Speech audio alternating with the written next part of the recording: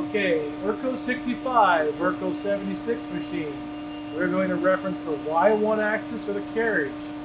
To do that, first of all, we need to close the collet. So we're going to come over to the control, select manual, collet, take your handheld control, plus, halfway down, closes the collet. Now we need to measure the actual distance of the carriage from the tangent line or Y, the center line of the tool. We're going to come over here to our tool set or center of our spindle. That's the zero mark of the machine. We're going to measure from the tangent to the outside of the barrel of the machine. It's actually reading right now at 24 inches.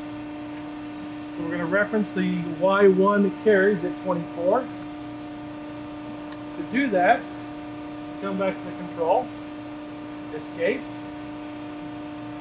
service, test Y1 BCX1, click that button.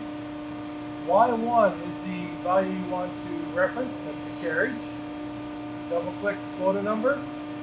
Even though the machine right now is displaying in inches, it's thinking in metric. We need to convert that 24 inches to metric. So when I quickly do that, put that value in, value for Y1.